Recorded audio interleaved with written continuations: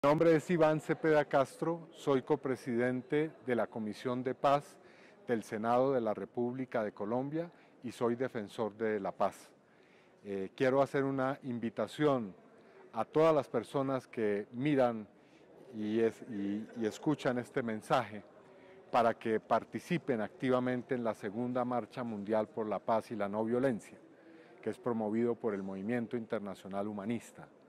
La paz es el tema central de nuestra época.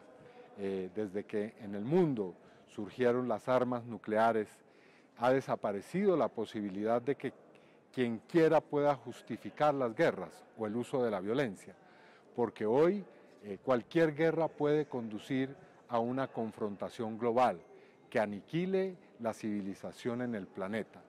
Y las guerras han dejado una estela de muerte, de destrucción en todos los países del mundo y todos los seres humanos sabemos cuál es su significado. No puede haber ninguna justificación posible para la guerra. No hay guerras justas. No se puede justificar el uso de las armas para defenderse o para alcanzar algunos objetivos de carácter político, ideológico, religioso. Los seres humanos tenemos que aprender ya a dirimir nuestras contradicciones por la vía del diálogo, de la confrontación, política, de la construcción de consensos y de los métodos de la no violencia.